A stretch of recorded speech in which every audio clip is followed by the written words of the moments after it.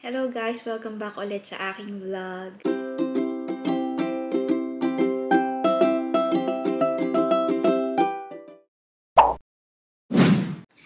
So, ayan guys, another informative video na naman. And, yun, kasunod, ka, kaano lang to, ka, ka, kadugtong ito ng ating um, uh, naunang video.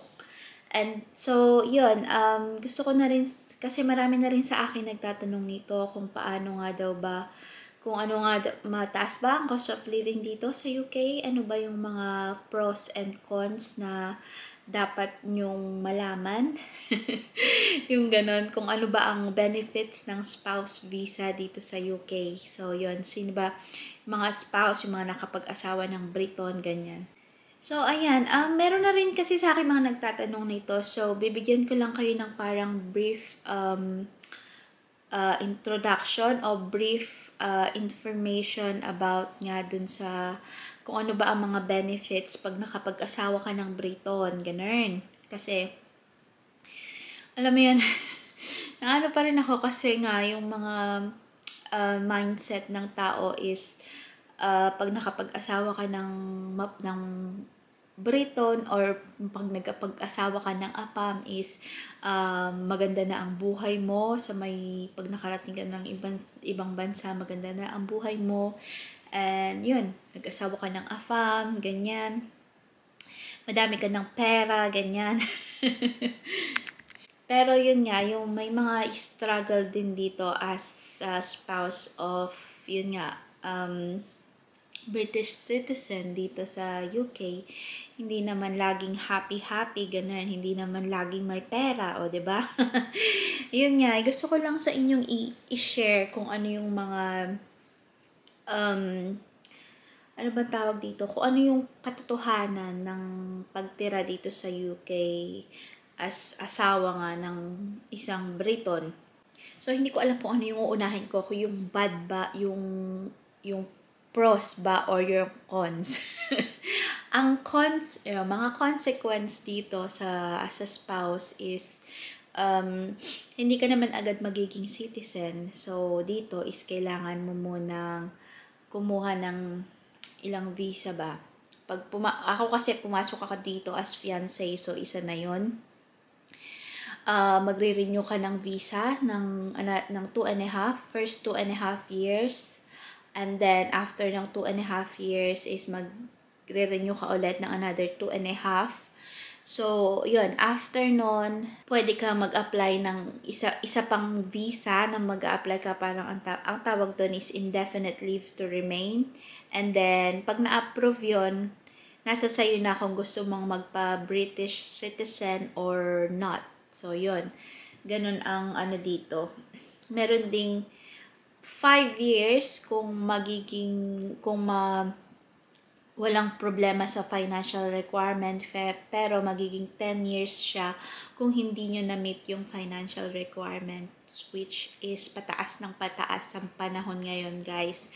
Um, so, yun nga. Yun ang, pina, yun ang isa ring consequence dito is hindi siya libre.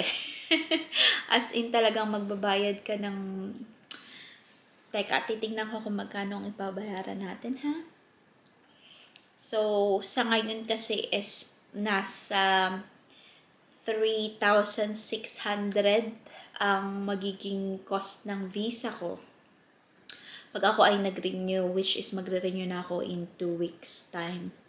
So, times natin yan. So, ayan, 250,000 pesos. Sa pesos sa pera natin na 250,000 pesos, kailangan mo yung ipunin para makapag-renew ka ulit ng visa. And then another 250,000 pagka, uh, ano ba yun, pagka nag-renew ka.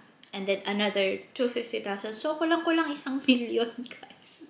so, yun nga, yung kung sinasabi ng mga ano na tao, ay bakit hindi pa nakakapagpundar si ganito ng mga ba't hindi pa nakakapagpagawa ng bahay, ba't hindi pa, ba't hindi pa ganyan, hindi pa ganyan, eh nasa abroad. Mga gano, yung mga ganong mindset ba is, kasi nga, um, hindi naman ura-urada is, alam mo yun, nasa taas ka na agad. Kailangan mo pa rin, meron pa rin kami mga process na kailangang um, alam mo yung pag-ipunan dito sa UK, especially dito sa UK, is mataas talaga yung cost of living, guys. It's tax everywhere.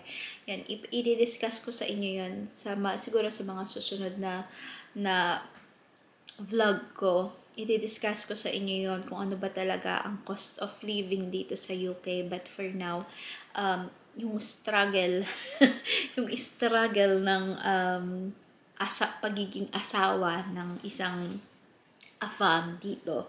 So, yun, kailangan namin siyang uh, pag-ipunan, kung nakulang-kulang isang milyon para ako ay makapag-stay dito sa UK. And also, meron, meron syempre, may mga binabayaran kami. Hindi lang naman kami, kumakain pa din naman kami dito, which is, uh, mataas din ang, alam mo yon ma, tumataas na rin ang mga presyo ng bilihin. And also, um, sabi, lagi nila sinasabi nyo, oh, libre yung ano dyan, libre yung, uh, ano pang tawag doon? Yung pag, yung medical, libre yung pang, pagpapagamot. Pero guys, uh, ang talagang, ang realidad dito is, kunwari, may sakit ka.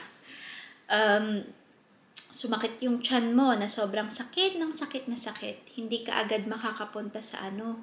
Hindi ka agad makaka yung alam mo yun, magwo-walk-in ka sa sa doktor, hindi, hindi ka mag, hindi ka makakapag-walk-in. Pagka yung feeling mo na kaya mo pang tiisin pero nagwo-worry ka, tawag, tatawag, kailangan mong itawag yan sa doktor. So, pag tumawag ka sa doktor, i-hold ka nila ng, ano ba, kalahati hanggang isang oras bago ka ma-entertain sa phone call. And then, meron pa silang oras na kailangan mong tumawag. For example, dito sa amin is kailangan, bu- pagbukas nila 8.30 ng umaga. So, 8.30 from, I think, 9.30, isang oras, isang oras ang binibigay nilang slot para makapag-book ka ng appointment.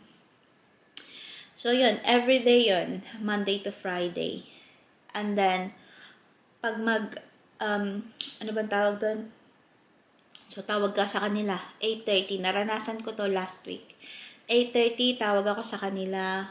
Naka-hold ako. Pang number one ako sa queue. Pang number one ako sa, sa pila.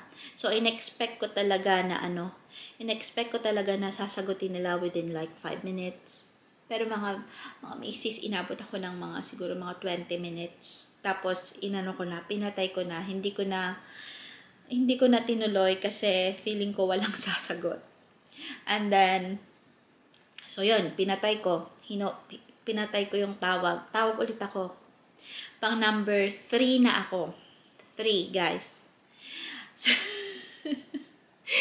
so, yun. Number 3 ako sa queue for half an hour. So, 50, 50 minutes is gone.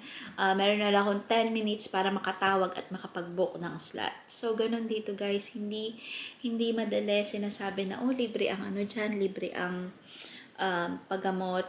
Oo, libre nga, pero yun, pahirapan, pahirapan pa din ako nun yung libre na yun. Which is for me, hindi siya libre kasi nga, um, kasama rin siya sa binabayaran namin as a, like, uh, health surcharge. Health surcharge. So, yun. Binabayaran namin yun for magkano ba? Kasama yun sa visa na binabayaran namin. So, ngayon is nasa 2,500 siya. 2,500. So, i-times natin sa 70 pesos. So, yun. 175,000 for um, two and a half years. So, for me na nasa spouse visa pa, na may visa pa, is hindi siya libre. Pag naging citizen ka na dito, is yun, tsaka pa lang siya magiging libre. Pero, ayun nga, binabayaran namin siya.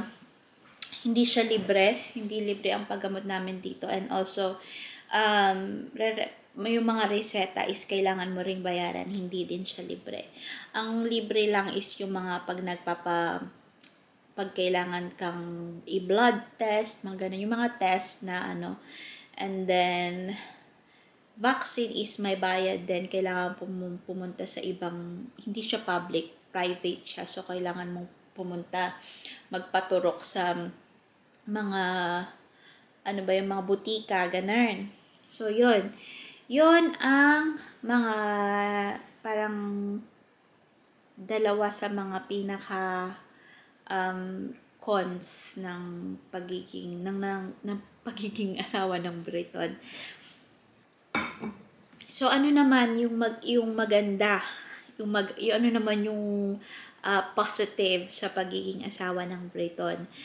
Um, isa na doon, unang-una na doon is yung um, ano ba tawag dito? Yung trabaho. Feeling ko yun lang. Feeling ko yun lang. Kasi pagka naka-spouse visa ka is uh, kahit anong trabaho is pwede mong itry, pwede mong pasukan. Wag nga lang yung, syempre, yung mga kailangan mo ng mga credential, ano ba yun, like, engineer, uh, doctor, mga ganon. Hindi ka, hindi mo naman syempre makukuha yun, mga teacher. Kasi teacher dito is, um, 'di ba hindi iba yung level ng education natin sa level ng education dito. So kung gusto kung teacher ka sa Pinas, nakapasa ka sa um, nakapasa ka sa may exam, board exam ba ang tawag doon? So pag nakapasa ka doon, punta ka dito is hindi pa rin siya kailangan mo pa rin mag-aral to to qualify as a teacher here. So, yun. Um, yun naman yung kagandahan dito is uh, pwede kang mamili. Wag nga lang yung may mga, alam mo yun, top uh, skilled worker, hindi hindi mahirap. Hindi ka hindi mo siya makakapasok agad-agad. Ganun kailangan mo pang mag-aral and everything. But yun yung kunwari pa mga office jobs like admin clerk uh, sales sales staff mga ganon um, maybe accounting, mga ganon, mga ganong trabaho. Madaming range ng trabaho na pwede mong pasukan talaga. Pero meron din kasing mga iba dito na nag struggle na ano, nag struggle na humanap ng trabaho.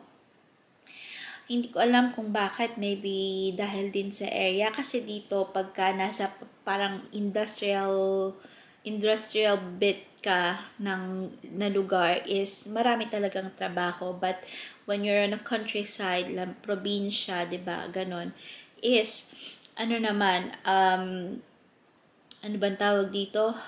Um hindi ganun karami yung trabaho. So yun. Yun yung kagandahan naman dito